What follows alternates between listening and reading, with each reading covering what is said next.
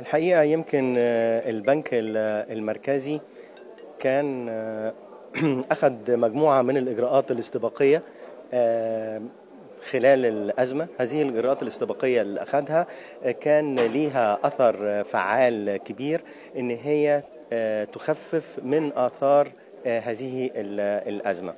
آه، مجموعة من المبادرات آه، قام بها البنك المركزي لأول مرة يمكن تخفيض سعر الفايدة ل 3% آه، ثم تلاها نص في نص يعني 4% خلال عام.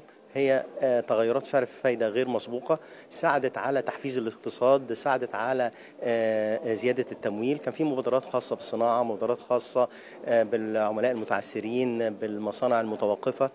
آه، كل ده من ناحية لكن من ناحية أخرى كان برضو الاهتمام بال- بالعملاء وصحتهم وفي نفس الوقت الاهتمام آه، بالعاملين. آه، آه، توفير كل الأدوية مستشفيات آه، آه، كل ال- آه، المساعدة في آه، دعم آه، آه، اللقاحات وتوفيرها على مستوى ال- البنوك. يعني إجراءات شفنا كمان الاحتياطي النقدي اللي بدأ يتعافى بتخطينا مستوى ال 40 مليار دولار حاليا لكن حضرتك ذكرت التضخم آه، أو الفايدة ده ياخدنا لل- للتضخم ارتفاعات في التضخم خلال الأشهر الأخيرة عالميا وانعكاسها على السوق ال- المحلية. اقتربنا من ال- السقف المستهدف للبنك المركزي كان بيستهدف 7% plus or minus 2% في الربع الرابع من 2022 هل هتستطيع السياسة النقدية لمصر الحفاظ على آه، آه، آه، تضخم ووضعه تحت السيطرة خلال الفترة القادمة؟ آه، نرجع للتاريخ. إن الفترة اللي فاتت يمكن التضخم كان وصل لفترة من الفترات لفوق ال 32% آه، آه، نزل بالسياسات المدروسة والدقيقة نزل للمستويات اللي إحنا شايفينها النهارده. يمكن خلال الجائحة نسب التضخم نزلت أقل من 7% وصلت ل 3% في بعض ال ال الأحيان. يمكن هي ارتفعت مؤخرا نظرا لتداعيات خارجية خاصة بالأسعار السلع وحاجات أخرى. اللي أنا بس عايز أقوله إن ال- الاقتصاد أو المبادرات اللي قام بها البنك المركزي وقدرة القطاع المصرفي إن هو يواجه هذه الأزمة لازم نرجع كده لخطوة آه، إن الاقتصاد المصري كان واقف على أرض صلبة. لما حصلت ال- الأزمة بتاعت كورونا كان الاقتصاد المصري واقف على أرض آه، صلبة بعد تحرير سعر الصرف. برنامج آه، اقتصادي مصري خالص آه، اشاد به الجميع صندوق النقد الدولي ومؤسسات ال- ال- العالمية كلها. الوقوف على أرض صلبة لما بتحصل آه، جائحة بنقدر إن إحنا نمتص هذه الصدمات.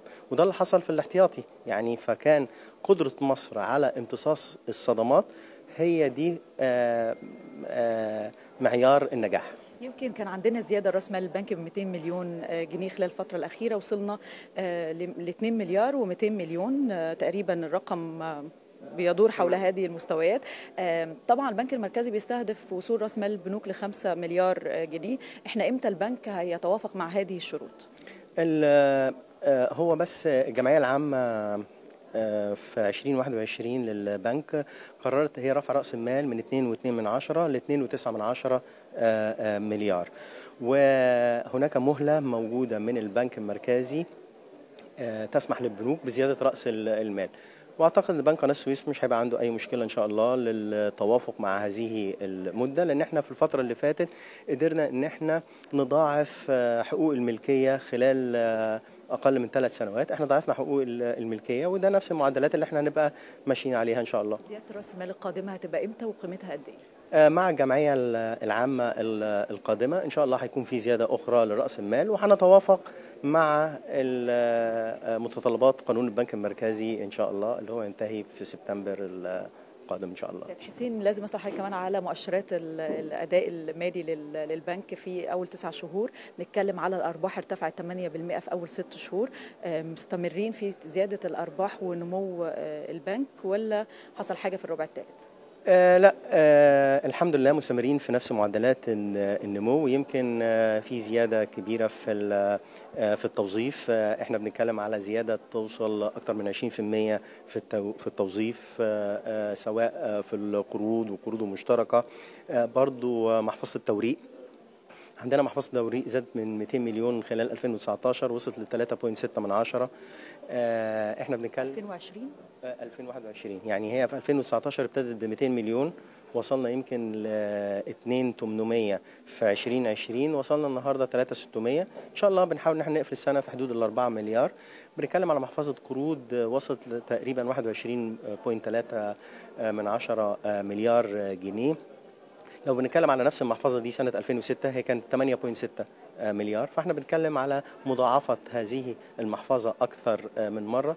نسب التوظيف عندنا لو أخذنا فيها التوريق ممكن توصل إلى 50% وهي نسب توظيف كويسة في فترة قصيرة إن شاء الله. شكرا جزيلا لحضرتك سيد حسين. شكرا يا فندم شكرا.